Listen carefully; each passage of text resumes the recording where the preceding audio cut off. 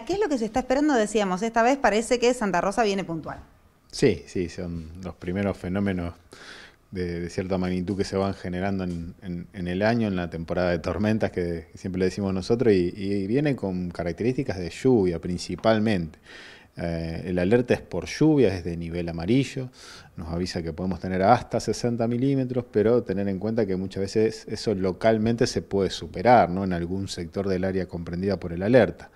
No es solo para nosotros, todo el sur de la provincia, parte de la provincia de Entre Ríos, sur de Córdoba, norte de provincia de Buenos Aires. Hay un área ahí que comprende el alerta amarillo y que, bueno, vamos a estar atentos. El alerta es para mañana por la tarde, pero ya la inestabilidad, como bien decías vos, va a estar presente desde la mañana de mañana hasta el sábado por la mañana. Son prácticamente 24 horas donde vamos a tener inestabilidad presente, ¿no? Venimos de una época seca, con helada, salvo la lluviecita del sábado por la tarde, que en algunos sectores trajo Graupel, veníamos bastante tranquilos. ¿Qué es lo que hay que hacer? ¿Qué es lo que hay que tener en cuenta?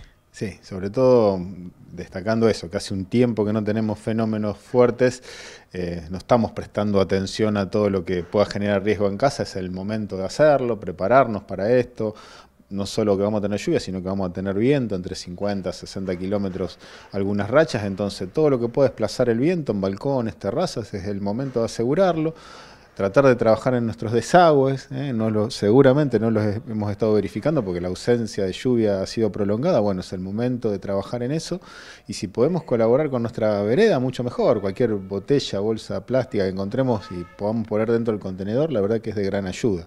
Y después estar atento a ustedes, ¿no? porque van a ir surgiendo distintos avisos, alertas a corto plazo. Si surge algo de esto, bueno, tratar de evitar los traslados innecesarios en esos momentos. Ya está subido a redes lo que es el alerta amarilla por tormentas, las redes de Defensa Civil Rosario, para ver qué hay que tener en cuenta. ¿Cómo está trabajando la municipalidad de Rosario? Hay cuadrillas extra, pensando también en, en la cuestión de las bocacalles, que generalmente con esta temporada que caen las hojas se van tapando y eso también eh, genera negamientos. Sí, la ciudad tiene un protocolo, ¿no? que el protocolo comienza con, con el pronóstico o el alerta vigente. ¿no? A partir de ahí se activan refuerzos en todo lo que tiene que ver con higiene y mantenimiento, en las tareas, tareas previas, y para prepararnos para el post-evento, todo lo que tiene que ver en refuerzos de cuadrillas. Y principalmente tenemos cadena de llamada para ir activando distintos organismos y distintas cuadrillas de acuerdo a la magnitud. Por eso vamos monitoreando el evento a medida del momento de impacto del evento y cómo se va desarrollando para seguir activando distintos organismos y distintas cuadrillas propias para dar respuesta a, lo que vaya sucediendo.